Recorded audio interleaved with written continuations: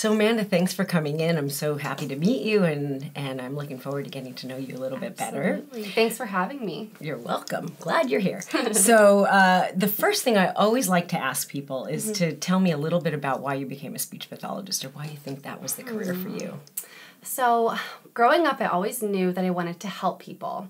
Um, I started off as a nursing major because I was very interested in the medical field, but um, in school, I just knew that wasn't the job for me. And then I found out about speech pathology from um, a mentor I had at my junior college. And that's when I started doing more research. I knew I wanted to get my master's degree, and, um, and now I'm here. And um, so, really, just because of helping people, I love the combination of like the medical field, um, the diversity. You can go into schools, medical. So, I just love the the field, the, variety. opportunity, the Yeah, variety. the You'll never get bored. Uh huh. That's that's actually true. Yeah. Very very true. Well, the reason I asked that question is because I want to get to know someone. I want to get to know the real person. I uh, I want to see what their style is a little bit, and uh, it's a it's a really good open ended question just to get to know the person, which is a really important element in the interview, as far as I'm concerned. Absolutely, I agree, and I, I- I'm looking for a bit, bit of passion, right? I want to know that you want to be here. I know I want to know that you want to do this job, and so when I ask that type of question, I'm really looking for that. You know, is it because somebody told me that it's going to pay more, or is it because I didn't get into medical school? Those are those are the not Right. the answers I'm looking for. Right. The answer I'm looking for is, you know, I do this because I, this is what I want to do. And I love it. Right. Absolutely. Well, flexibility is one of the things that I love to talk about um, in our uh, in our settings. Um, flexibility is key. It's something that we really look for in folks that come to work with us. Um, is there? Can you kind of give me a, a, a sense of a time that you felt like in your career that, or in your schooling, or in their time with clients that you had to demonstrate some flexibility? Definitely. Um, you know, within our own clinic, uh, you know, you, you constantly have to be flexible. You don't know what's happened to the client prior to that day, what the mood they're going to be in. Um, and then even as far as cancellations or schedule changing or, you know, during graduate school, you have five courses as well as your clinical. So you really have to be flexible and, um, you know, work your schedule around so that you can really accommodate for all of your clients. Excellent. Well, as I said, flexibility is really key, I think, in being a speech pathologist in almost any setting. We have to work with people sometimes at their worst, uh, and we oftentimes don't have control over our, our environment. And so I really want to hear from people how they're going to handle that. How do you plan your day to make sure that you uh, meet all the priorities and that you get everything done and you don't go home, Yeah, you know, yeah, all stressed out? of course. um, that's a great question, and I think uh, planning is quite an interesting thing because it differs between so many different people. But I usually have I have a weekly planner and I have a monthly planner. Okay. So um, within the monthly planner, I have the larger events. Uh, so let's say I have. Uh, you know, maybe I'd keep all of my IEP meetings within the monthly planner. But then on my weekly planner, it's my to do list, my to do list that I continuously add to every day. Um, and not only do I, uh, for example, if I have a meeting with a coworker at 3 p.m. on Tuesday, uh, on Monday, I'll write prepare for the meeting as well. So it's not just the due date, it's also when I'm going to have that preparation time. Mm, very good, right? So you don't miss out on the No. s- suddenly If I get wake shocked up on. Tuesday, I, you know, and I, I just remember that I have that meeting that I won't be prepared. I won't be ready. Okay, that sounds like a good strategy. It will work. Well, I think Ellen hit the nail on the head because I'm not interested in somebody having their schedule in the way I do my schedule. It's a matter of making sure that you have a way to keep track of all the different things that come your way and uh, that you don't lose track of things. And especially as a clinical fellow, I think that there are so many overwhelming things that hit them that may be unexpected mm-hmm. that I want to make sure that they have a way to keep track of everything so that they're not falling apart. absolutely absolutely. As you said i think um, multitasking is really mm-hmm. key and there's so many things to learn and do that it's really easy to lose track if you don't have a good system and so i think that's an excellent question and an excellent thing to share in an mm-hmm. interview is here's how i'm going to bring that to the table. This is what i'm going to do to make sure that i'm taking care of everything that needs to get done every day in my job. Right. Absolutely And and they may not have had an opportunity to do scheduling for the job. Mm-hmm. So really that's the key is how do you manage your life? You know, how do you manage all the moving parts? Absolutely, absolutely. And I think as graduate students, they've had to manage a lot of things. Mm-hmm. So they have some great strategies to bring to the mm-hmm. table, right? Sometimes more than some of our more mature and experienced therapists. Um, so really, I think um, say, acknowledging that I have some good systems in place and I'm going to use those going forward as well is, is great. Right. So part of what we're gonna, what I like to do is kind of find out how you handle different situations, okay. and so I'm gonna ask you some questions about ways that you've interacted with folks, or teams that you've been a part of, or clients that you may have worked with, to give me some perspective about how you might work with us. Okay, perfect. Uh, so tell me about a time uh, when you weren't able to finish a task that you needed to finish uh, because of lack of information. So you didn't have enough information to handle or finish a task. How did you handle that? So I handled that. Um, I mean, that has definitely happened to me in um, my, you know, my many clinical experiences so far. And um, whenever I've not had enough information, um, I definitely it depends on the kind of information I need. So if it's information from like a coworker or um, a higher up, one of my supervisors, then I definitely just want to make sure I have clear communication with them to let them know that I need that, and not in an aggressive way, but as in um, help me out. I, I need this to finish what I'm doing. Please help me. I have a deadline. Um, and if it's information that I need um, that kind of elsewhere, then I just try and do my own research, trying to collaborate with others, um, and hopefully get that information somewhere else. And then do it, even if it's not on time, get that done as quickly as possible. And then once again, that communication piece. So who, whoever I need to give it to, if it's not done on time, really communicating with them. Look, um, I'm really sorry. This is what's holding me up, and this is when it's going to be done. I'm doing these steps to get that finished and to you. Well, I really, um, when as I'm interviewing people, one of the things I really try to do is ask behavioral interview questions, um, and it's a specific style, but it's asking about when you did something, not just how you would do something. And it really, as people have to think about it, really guides them towards thinking about themselves versus what they think that I want to hear. Uh, there's always going to be a piece of that, but they they're going to be thinking back a little bit to opportunities that they've had to uh, use that skill or demonstrate that experience. And so it really brings a different element to the interview, and I found it to be really successful. I, I use the same s- tactic, I guess. Uh, and the question that you asked about a, a situation where you don't have enough information is really a key question because that happens a lot. And you want to find out if the the person who you're interviewing not only knows that they need to do something about it, mm-hmm. but how they're going to solve that problem. And she talked about resources and she also talked about communication. And mm-hmm. those were key elements of solving the difficult problem that you presented to her. Absolutely. We don't expect our new graduate CF RPEs to come in and uh, know everything. Right. And um, and and and their supervisors uh, can't read minds. So sometimes there's things that maybe the supervisor thought was clear that wasn't, and we need that person to be able to have the skills to come back to us and say. Help! I'm not sure what you needed from me here. I don't have what I need to do this job. And, Exactly. um, and then they can get the help. And the supervisor's not always there. Or Exactly. not always instantly available. So Absolutely. So knowing how to handle yourself is going to be really key. So yeah, that's it's a key question that I ask regularly for that very reason. Yep. And that you've had experience doing it somehow. Yeah, somewhere exactly. else. Somewhere else. Let's go on a different track. Sure. How do you keep it, typically keep track of um, data uh, and your documentation and to make sure that your clients are making progress uh, and then take the flip side of it if you see that your data is showing that they're not making progress what would you do Sure. So um, typically for the clients I have now, I have like a running log of what I do with them on a daily basis. Um, I try and keep it simple. So, you know, for our tick plus and minuses, for some of my other more involved clients, I like to make um, kind of pre plan some data sheets that I can put like three on a page to keep myself organized and getting the most um, data to be accurate and have that information readily available whenever I can. And um, if clients aren't making progress and I see mm-hmm. that, then it's definitely, you know, just looking at, well, am I working on the right thing? Going mm-hmm. back to that assessment piece, seeing where this child is at, looking at myself, seeing if I'm doing the best that I can with them, and then going back to the drawing board and mm-hmm. seeing, well, what can I do? What does this child need this isn't working so what else can i do? Right. and that's when you know that collaboration piece also comes in. And um, also going back and you know taking like extra courses and seeing oh what can i do to better help this child? What is evidence based right now? What do i need to look at?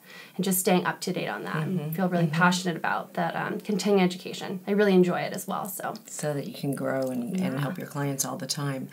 So I often I often ask a question that is about a negative situation mm-hmm. because I want to see how the candidate will handle stress mm-hmm. and how they have handled stress or how they handle a situation when what they're doing isn't working. Do they look at themselves mm-hmm. or do they potentially blame someone else? So I'm really looking to see how they handle a negative situation.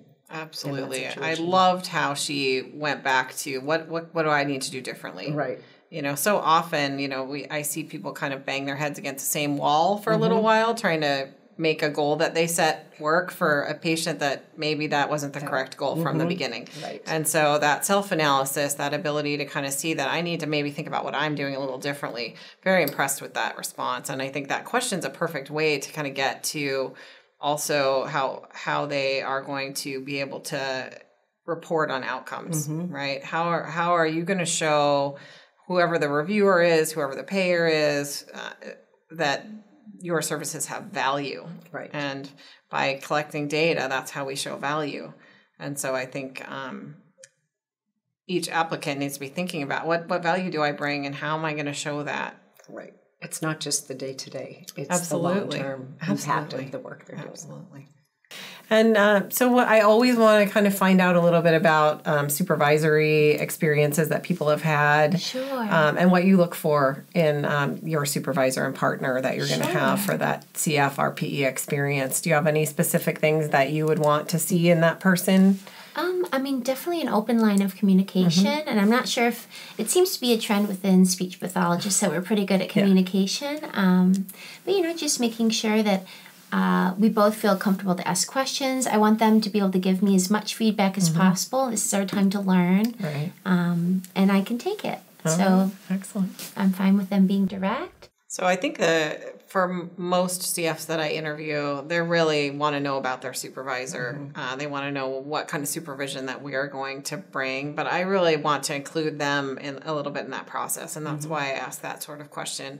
What are you looking for? So as I'm looking to match them up with the right person, um, I can get information about that. But I also tend to get a, uh, information about either reasonable or unreasonable expectations about what's going to happen in their job. Uh, it's a time when sometimes people will share things that give you some insight as to how they're going to do as well in other areas. That's ex- that's exactly right. And the other piece of that is recognizing how proactive the RPE uh-huh. will be during that uh, supervisory experience, because a lot of times there's an expectation that it's still like it was in school, mm-hmm. where the supervisor is kind of in control of the situation. And so again, it gives me insight into the kind of employee that mm-hmm. person will be, because they do need to have a mod, a, a, they need to have independence mm-hmm. as well as be able to recognize that they need supervision and how to use it. Right, absolutely. Proactive communication and the ability to collaborate with their supervisor, and not and not that necessarily that sense of dependence, but Right. that sense of I'm I'm growing towards independence. Exactly. What would you say is the toughest communication situation that you've faced so far as a grad student speech pathologist? Yes, um, actually, when I started to work with, uh, you know, the adult population, uh, you know, when you're having stroke victims, um, TBI, that was a Mm-hmm. great challenge for me because most of my background and experience is with children, Right.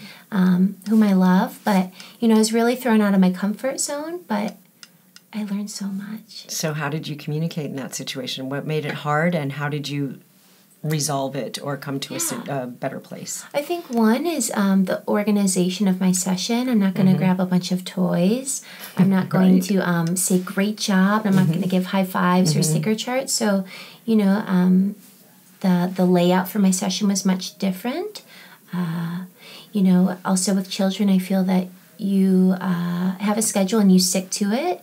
Um, as much as I believe in having a, a client directed session, I also, with, with kids, you are the adult and you kind of have to run it. But I think when you start to work with adults, you have to recognize it's even playing field. So if I had uh, this plan, you know, three activities planned for our session, if we only get to one because he needs to talk about something else or have a little bit of counseling as well, you adjust. So it's a little bit, a little bit. Um, That's right. Yeah. Right. Excellent.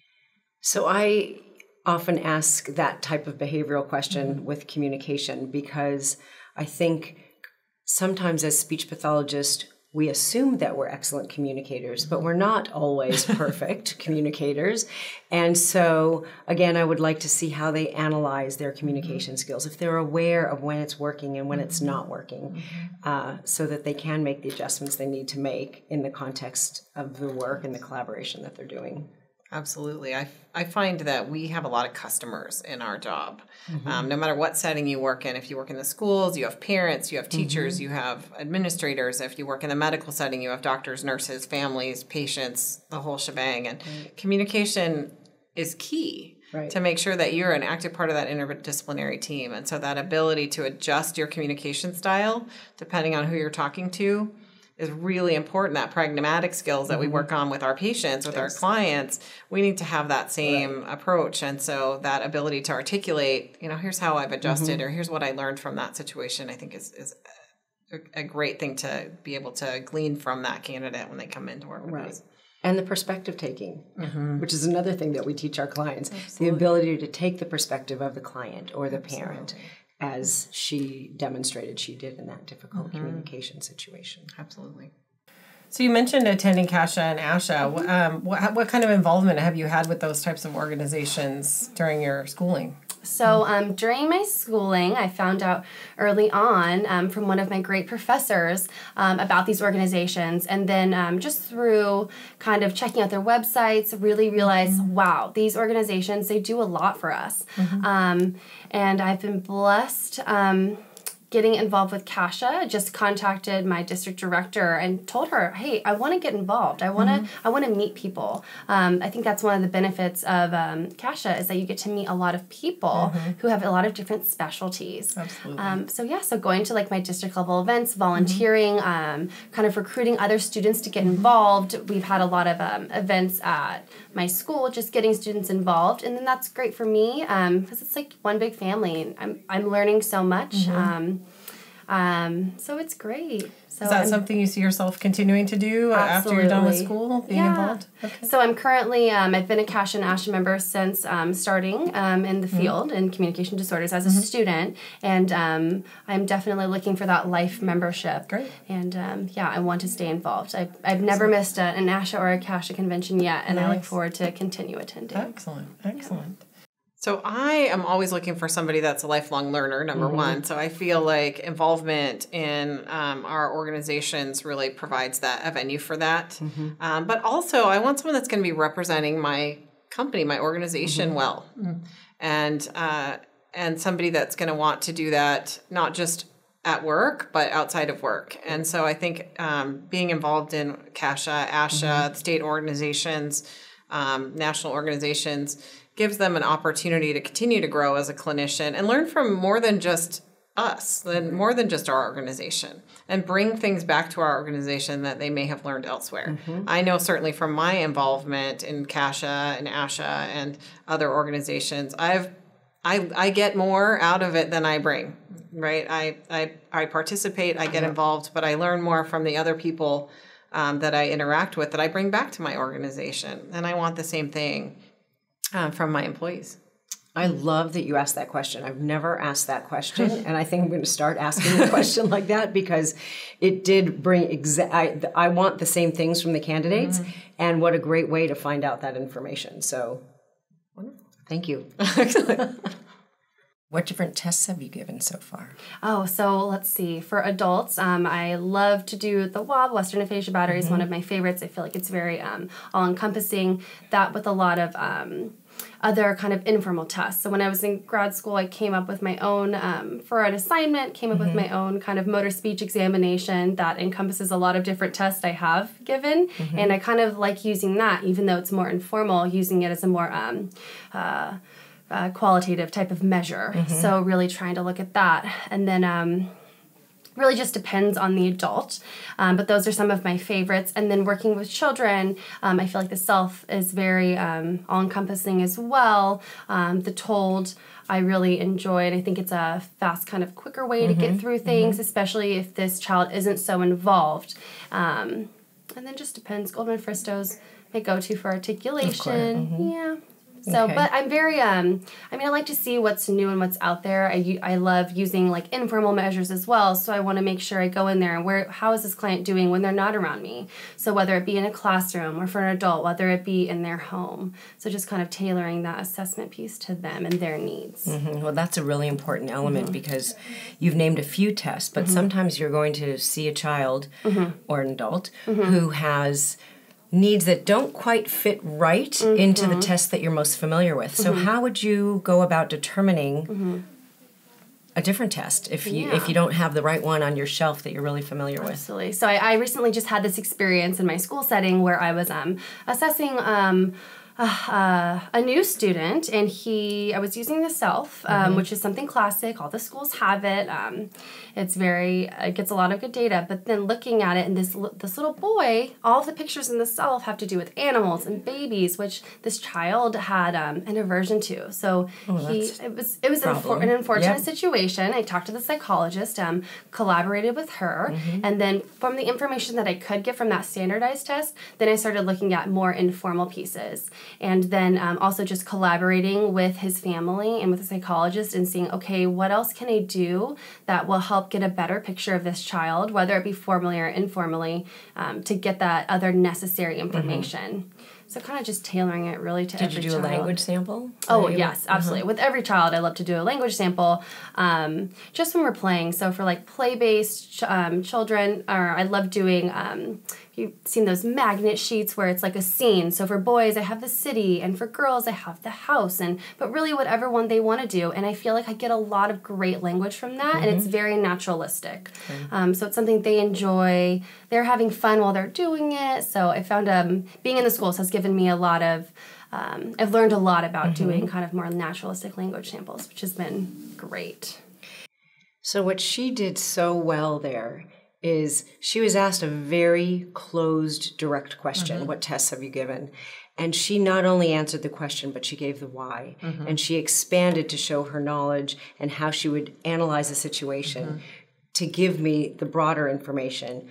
That really is what I was after in the long run. In fact, typically when I ask that question, I ask more about the assessment process. And for uh-huh. some reason in that situation, I ask the more direct question because as interviewers, we do go back and forth with more direct and more open ended types of questions. So uh, she hit a home run with that one. Uh, yeah, I really, I, I, I agree. I like how she was able to kind of demonstrate not only that she knew these tests existed, but that she had probably given them. You know, this one's a little more comprehensive. This one's better for the child that has a global needs. You know, she was able to demonstrate that not only do I know these tests, but I've given them and I have a sense of who I'm going to choose them for. Right. Which was great. Uh, and I that that's a big question that I typically ask as well because in I, I work in the medical setting and it is incredibly important that we have data once again and it's not enough for us as therapists just to say because I said so. Right. Uh, we really have to have something objective. And so, knowledge of those standardized assessment tools that are going to get us that objective data are going to help us develop the plan of care, especially as a, a, a new therapist. You really need that. Uh, that expertise and, and or to be able to gauge you know are they familiar with a lot of tests or am i going to need to provide that kind of training and exposure And finally, the ability to recognize that each test is only appropriate in some situations. Absolutely. And she, she absolutely showed that she had that knowledge. And that's something that um, many students, well, graduate students and then new clinicians need more time to be exposed to others. And so she's had some good experiences so far. absolutely Well, tell me a little bit about your most challenging client that you ever had, or patient or client that you've worked with. in Yes, your- it was someone that I saw in the graduate clinic here. Um, he was on the spectrum. He was five and a half, uh, nonverbal, and um, just very uh, frustrated. Uh-huh. Right? I I don't understand completely because I I have my language. However, um, you know, you can you can understand where this frustration is mm-hmm. coming from. but when you enter and they they run at you and you bite, they're mm-hmm. biting you, mm-hmm. or you know I have to pick them up to carry them to the clinic and they're kicking and screaming. I mean it's it's exhausting. Um, but by the end, he walked into that clinic by himself. Oh, very nice. Very nice. It was rewarding. I think if you keep at it and you don't give up, Mm-hmm. I do. I'm a firm believer that you'll see something. Mm-hmm. So I I use that question about challenging once again to provide an open-ended question that allows them to tell me about a time that they mm-hmm. had a problem solve something. Right. Right. Some uh, something that was hard. How did you handle that? Um, because work is hard, and we're gonna have hard clients. We're gonna have non-compliant clients. We're gonna have people that don't want to do what we want them to do, and so that's my opportunity to kind of find out how you've handled that in the past and get a sense of how you might handle it in the future, or how much support I might need to provide to you. Going forward with that. I ask the same question quite often. it's a good question to get the same information. Uh, Have you had the opportunity to work with any clients that um, on dysphagia at all? Um, I have not had the opportunity yet, but um, I'm looking forward to the opportunity. Um, I'm always I'm ready to learn, so that is why I enjoy the field because there are so many different aspects of it, um, and I'm very interested in dysphagia. I've taken courses on it. I've um, gone to additional um, CEU events, um, not only just at at the ASHA convention, CSHA convention, but um, just at district level events. So it's something I'm very interested in, and I'd like to learn more. Great. So I thought she did a nice job of really tying in the fact that even though I asked her about something she didn't have exposure to directly, Right. um, demonstrating that she had an indirect, she had some done some things to get herself ready should she need to uh, treat that population. That she wasn't coming in cold. She had some good background. That she and that she was going to be an active participant in learning Yes. Yeah. and and that's really the key is you know how, how if I give you something you haven't done before, how are you going to approach it? I think uh, you know that that sense of uh, someone's going to teach me how to do this, or I'm going to come somewhat prepared and I'm going to use all the resources I have to get ready to do it. Taking personal responsibility as opposed to depending that her new job is going to teach her how to do it. Correct. Because the clinical fellows that come to us can't possibly have had experience with all of the different things they're going to be doing in our environments. And so I think it's the most important thing that she said was about taking the personal mm-hmm. responsibility and demonstrating that through either the resources that she knew were mm-hmm. available and the learning opportunities and that she was interested. That's the other thing that she said. That she had great interest in it, which is half the battle right there. Exactly, exactly. Mm-hmm. Tell me about something that you've done where you had to be creative. Again, clinically thinking, where you had to use your creativity skills and and uh, how it impacted the client.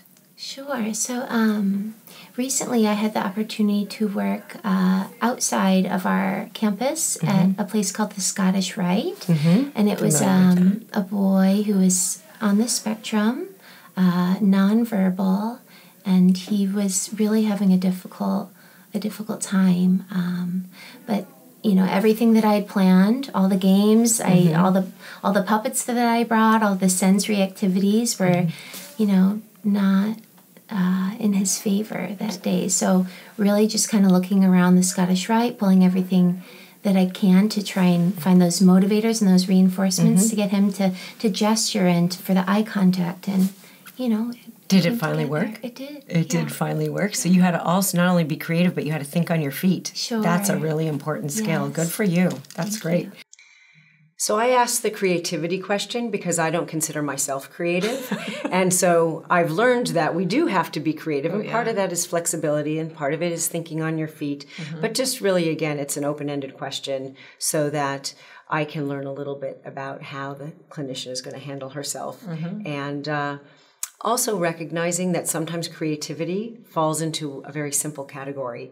Um, if you go back to those of us who've raised children, where sometimes the most interesting toy mm-hmm. was the box that the mm-hmm. toy came in. Mm-hmm. And it's the same thing with our clients. And so I want to see if they have the ability to recognize what that means. Absolutely. Absolutely. And I think we've talked about flexibility before, and, and I think creativity goes right along with that. How am I going to handle a situation where I have to think on my feet, as you said? And I think uh, that's definitely something as therapists we need to have.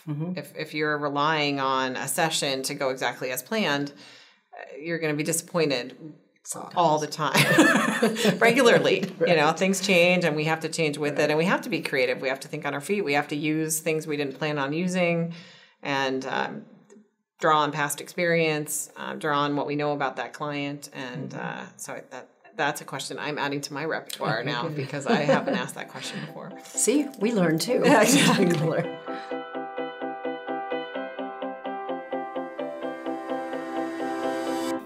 So, what questions do you have for me?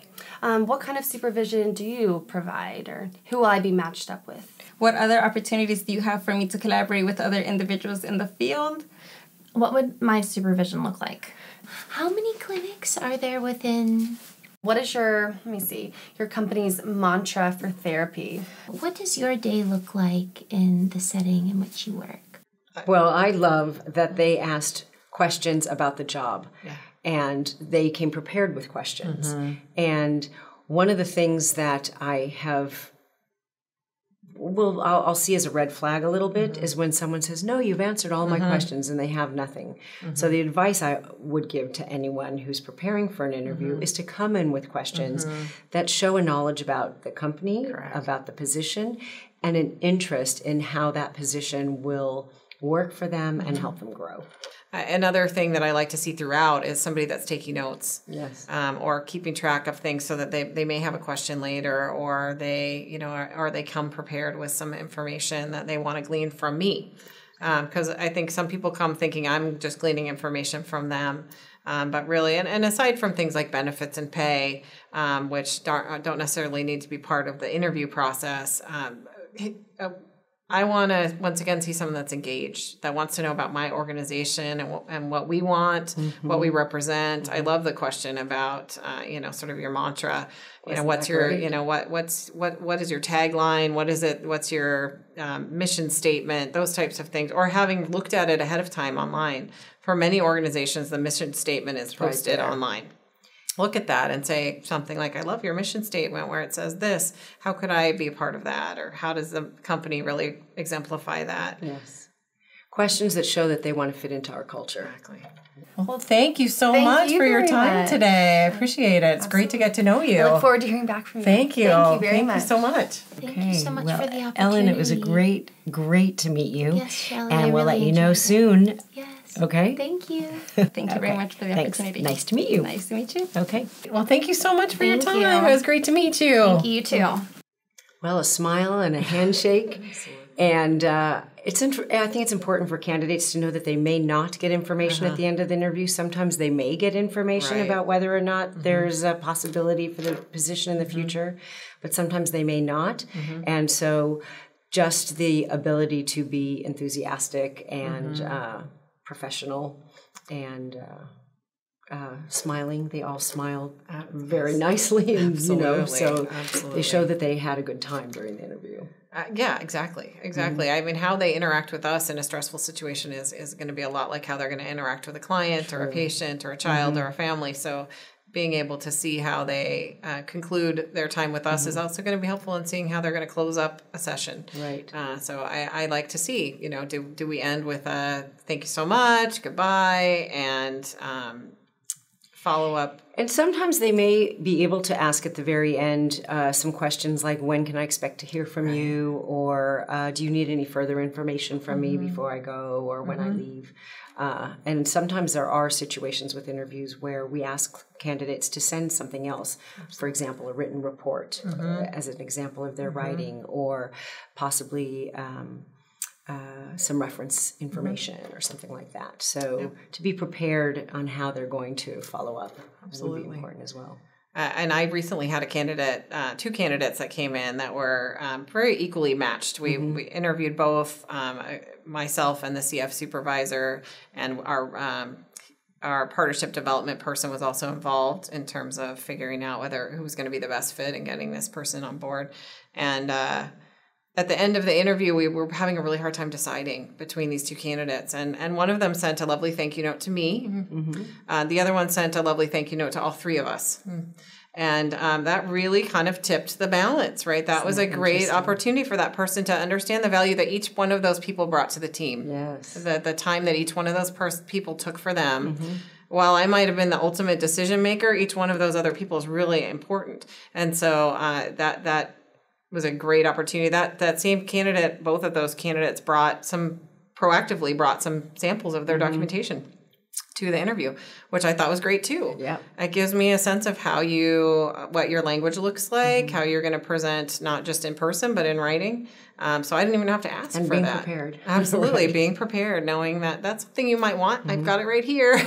um, is, is, that's how you're going to show up to work as well, right? That's the, the persona that I, that, that you're going to present to my clients, to my customers, uh, and to your patients. I love what you said about the thank you notes. That's recognition of the whole team.